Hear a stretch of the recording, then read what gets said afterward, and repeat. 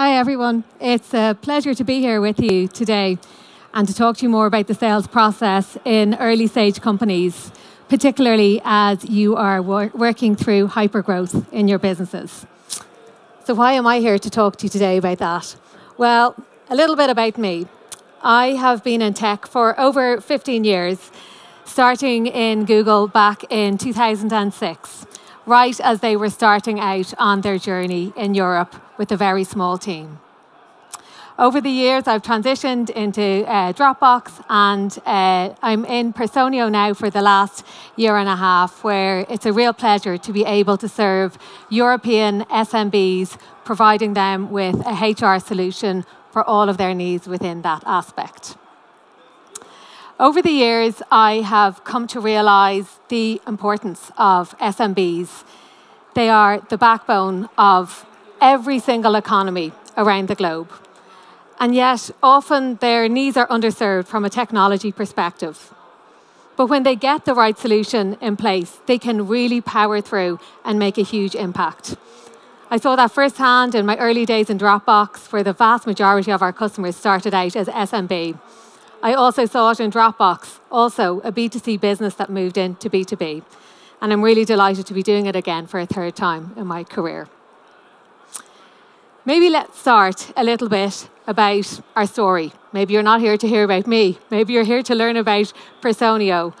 We've been in the news quite a lot over the last while. This is a photo taken from a few weeks ago where we launched a new category into the marketplace and where we raise a new round of funding.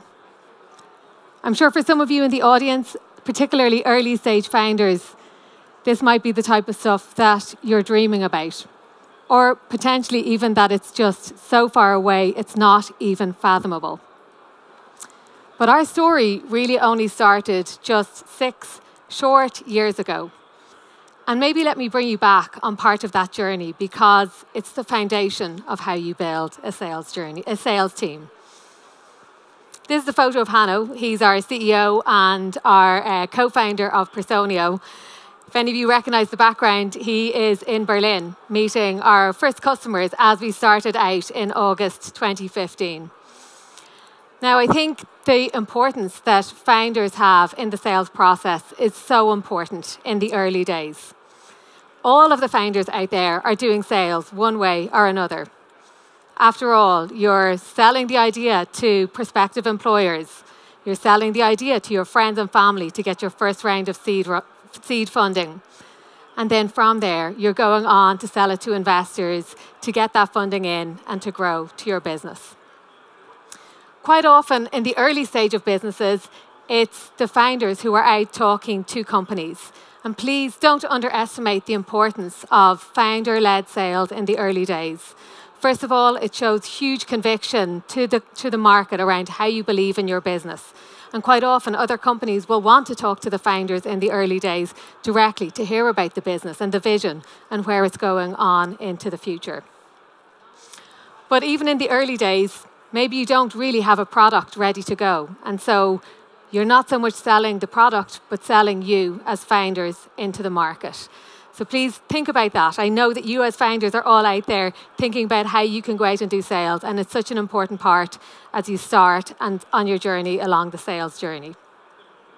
Of course, as you begin to scale, you will begin to bring in a couple of small team around you. And they should also show up as mini founders as you go through what they're doing in the organization and being able to bring information back into the teams. As you're starting out in the early days and probably forever, the sales product feedback is super important. In the early days, that sales product feedback is probably happening after every single customer interaction you have. You want to know what that customer wants, how they think about your product, and what you can do to adjust it. And that's happening on a maybe not even daily, but hourly basis. As you scale both the product and the sales teams, that journey becomes a little bit different. And actually, having a sales team go and talk to the product team every single day or every single hour becomes distracting. It's stopping the product team from delivering out into the organization and to actually add value in terms of what they're doing. So think about how you want that sales and product loop to, to change over time as you scale. Normally, it starts with going from those daily ad hoc interactions into something that happens on a more scalable basis. Perhaps sales and product meeting together once a week, and then over time, over longer time periods, maybe once a month or so on. And that structured time should be about seeing what are the trends that you are seeing in the market. For example, are customers asking for something very particular? Are they giving you feedback on something that you're missing? And so on. Or are you seeing different trends depending on different market segments that you're in? But don't forget about the nimbleness that you had in the early days and make sure that you're still able to have that quick feedback loop around how you operate together. For example, in Personio, the way that we do this is we have a Slack channel between our sales and product teams to give that quick feedback in the moment or to ask questions as you go. And so, as we grow and we want to be more sustainable in terms of how we think about our time that we put into things, we, we have less daily interactions, but we still allow for that ongoing interaction where it's needed within the teams without it being too much of a time drag. Now, the last piece of advice I want to give on sales and product interaction is your customers are always going to give feedback around what you need, what they need, and what they want to see in your product. And that feedback is really important. But as you're thinking about that feedback, make sure that you're not adding a new feature or a new tweak for every single customer that you bring in. For example, in Personio, we have been really clear around where we're going as a business. We're a product that serves businesses between 10 to 2,000 employees, and we focus for European SMBs only. Of course, it's tempting to think about going to the US and serving that market there or moving up market. And maybe we will over time, but that our focus right now is within the European landscape and it's allowed us to be really efficient, to keep our product team really focused and to make sure that we have the right processes across our organization to scale the organization without having to change everywhere we go along the way. So you have your first deal, you have a company, Hopefully, you have a product ready to go. Setting up your sales team should set, be set on a foundation of three core principles, which I have found to be true again and again. And it starts with people. People are the most important asset to any business. After all, it's not companies that create the value, it's the people in that company that create the value. Next up is processes. What are the type of processes that you need to put in the early day that's going to allow you to scale and scale efficient, efficiently in the long run? And then third up is systems. How are those systems empowering you to get more insight around what's happening within your business and to be more insightful and efficient as an organization? So let's go through these one by one. Let's start talking about people. I think there's kind of three stages of people in the organization when you think about how you're scaling as a business. There's super early stage, those mini founders that I spoke about. There's growth stage, and then there's more scale up and growth. And in general, you're going to need different types of people at different stages of the organization. In the very early days, you're going to need people who are very curious, who are very entrepreneurial, and likely have high IQ that can take a lot of feedback back from the market and give that back in to the product team. In an ideal world, that type of person has already done some type of sales role before. Why? Well, because as founders, likely you don't have a very strong foundation in sales as well. So allowing them to go out and do sales allows them to be much more self sufficient without you having to train them along the journey. Of course, some salespeople coming in might have sold a product similar to yours in the past, and that can be super helpful if they have already done that. They already know the landscape, they understand the customer needs to a certain extent. And then on top of that, they probably have some contacts, and those contacts may help accelerate deals in the short run. But as you're thinking about those type of experienced salespeople, please don't forget about culture. It's such an important thing with those salespeople in the early days. They are going to set the foundation and the tone for the type of sales organization you are going to have long into the future. So make sure you feel really confident. Not only are they great salespeople, but that they're also great cultural fits for your organization. As you begin to scale and you think about maybe a couple of salespeople that are out in the market and more about a sales team, you need a different type of profile of person in your team. More than likely, you're thinking about how do you do more innovation and experimentation within your current team or how you go to market Taking in people from other organizations, from diverse backgrounds, is likely going to give you more of that culture of experimentation and thought within the team. But at this stage, it's also important to think about how you target and compensate your team. Quite often, salespeople are out on their own, outselling a product, and they have individual sales targets. But I really recommend in this growth stage that you think about compensating the team within a, a team target rather than individual targets. Why? Well, firstly, it gets the team focused as a team. It's not a I win, you lose situation, but the team really feels like they all win together. And with that, they're sharing learnings, they're sharing insights in the market, they're sharing best practices, and they really feel like they are all in it together. And those learnings can be amplified, and the experimentation culture should be able to be worked through quicker rather than people going off and doing stuff in silos and not bringing it back in to the team. As you move to larger stage, scale up, this is a photo of our team from a couple of weeks ago, uh, have a think about the type of profile that you need at this stage. I think there's an ideal profile of person. I call it my Goldilocks person at this stage of business. It's somebody who's worked in a company that's larger than you are already, and ideally has already worked in a company smaller than yours already.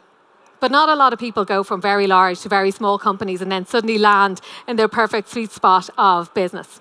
If you can get them, great. They're going to be brilliant for your business because they understand the nimbleness that you need at that early stage, but they also understand where you're architecting towards over the long run. And they're not going to be unsure where you're going or if processes change or things adjust, that they don't understand what's happening. In the reality, given so few of those people exist, my advice is to think about getting a mix within your team, that you have both early stage people in the team and then people that have come from larger companies and that they can bring that level of learning and sharing across the team to understand where you're going towards and you can balance across the larger company stuff as well as the more nimble pieces that you need within the team. Last piece of advice on larger scale companies don't get taken in by big logos. It's easy to say, oh, but this person has worked in X or this person has worked in Y that's three years ahead of us or has done amazing things in the market. Make sure you really get to know that person for who they are rather than the logo that's on their CV and what they've actually done within their team. So, over to processes. Um, often people think about processes as big company stuff, and in some ways it is. But for me, when I think about processes and metrics, it's really about setting the right foundation for how you can scale your company in a successful way. My advice is in the early days, keep it super simple.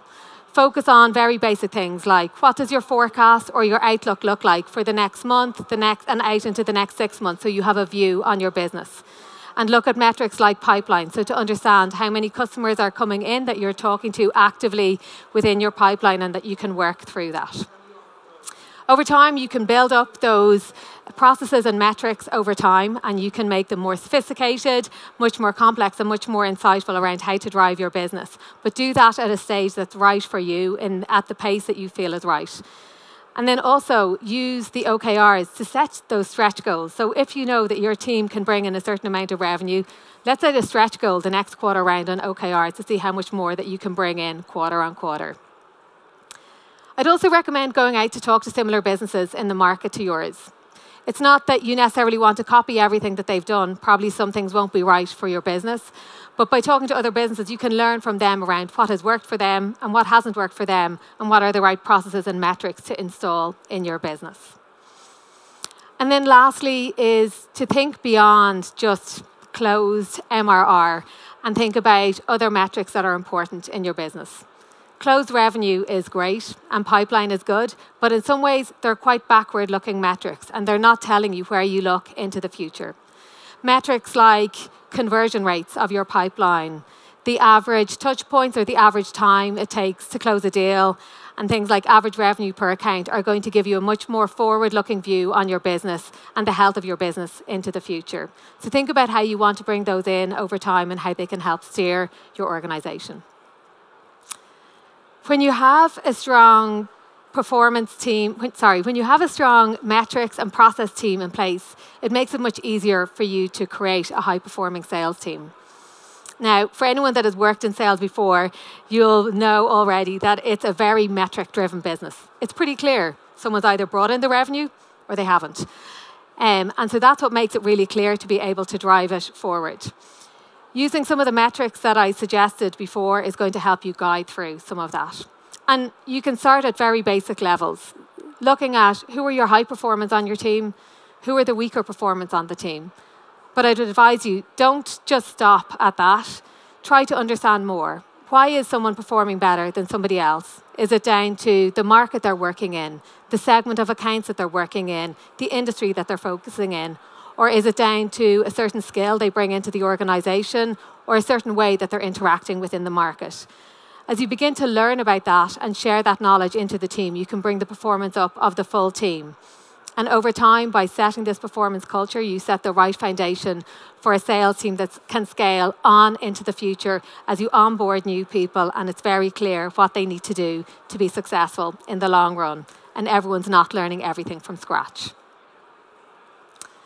The last part of my ABCs is systems. Now, this slide here is actually a very old slide. It's back from 2019. But I picked it specifically because I remember the first time looking at this thinking, wow, that is a super fragmented landscape in the MarTech space. I can imagine as a founder when you're just setting up your business and you're trying to think about where you start from a systems perspective, and you look at something like this, it probably seems crazy and almost out of reach in terms of where to start. But there's been an interesting trend, particularly on the sales side, over the last couple of years, where sales was really about getting a CRM and starting. The whole landscape has become much more fragmented and much more siloed in terms of the individual tools that uh, teams use across the organization. And I think there can be a certain amount of FOMO in terms of how you uh, think about tools. Well, this company down the road is using this, maybe I should use it too. My suggestion as you think about how you think about tooling is starting with the basics. Think about the CRM that you want to use in the early days and the type of marketing solution that you want. They're really important to start early days, first of all, so that you have a system of record for everything, and that becomes your source of truth of where you go, but also that it sets a foundation of where people go and operate from. Over time, as you want to build up your sophistication of systems and tools, think about things from a very basic level. I always ask myself when I'm thinking about bringing in more systems and tools into our team is it going to make the team do a better job? Is it going to make them touch more customers on a faster basis? Is it going to improve our conversion rate?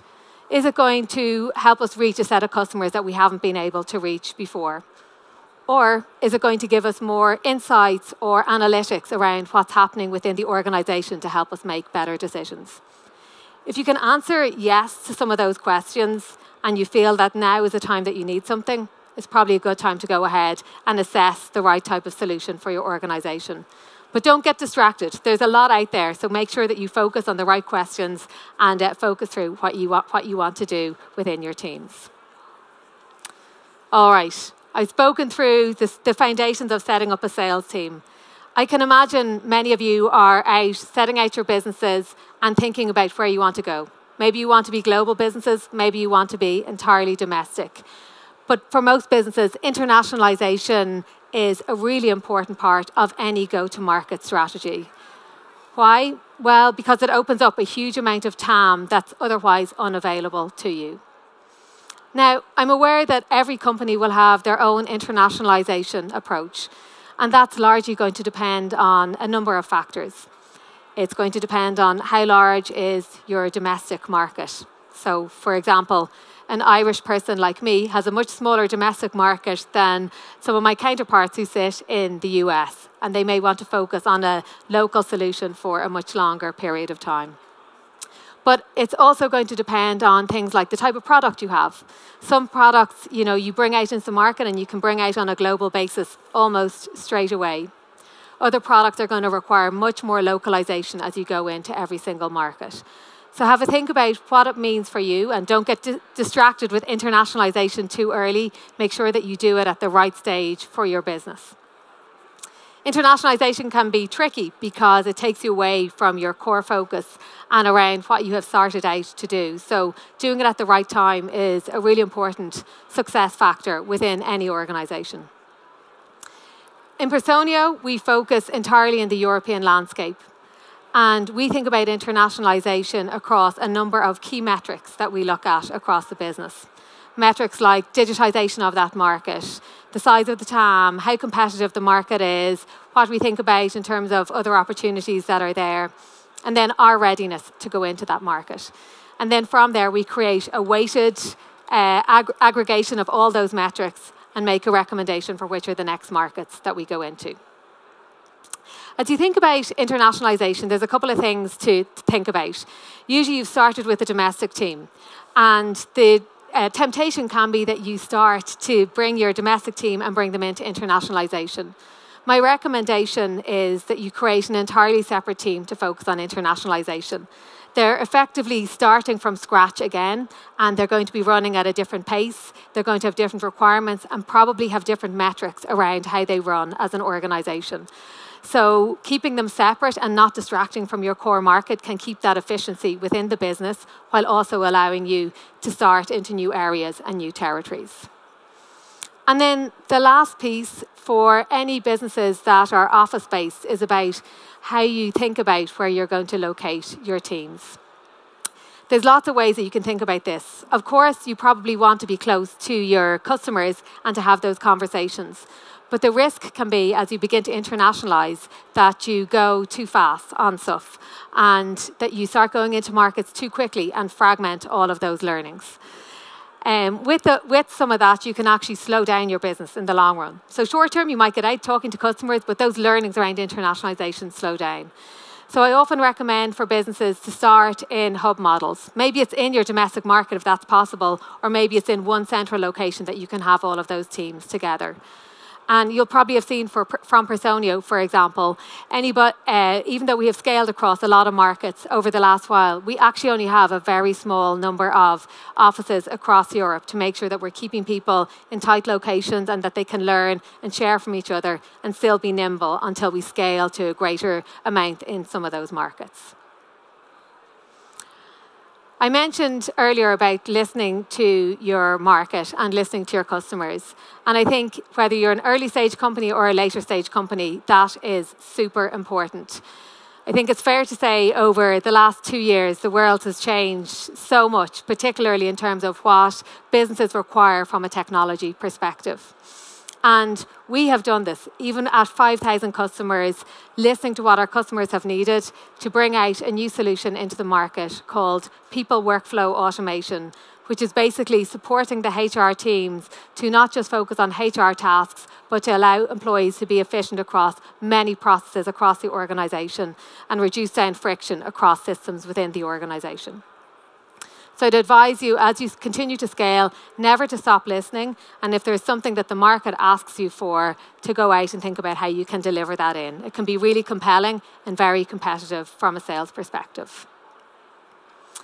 So, in summary, uh, I think there's four key things about how you think about scaling your organization. First is to listen to your customers and listen to your market. Think about what they need and what they're asking you for. They give you great feedback. And customers will always tell you how they want to be sold to if you listen to them. But don't feel like every piece of feedback they give to you is something that you need to, you need to drive. You need to be core to what you're doing as a business and not make sure that you're tweaking and changing as you go.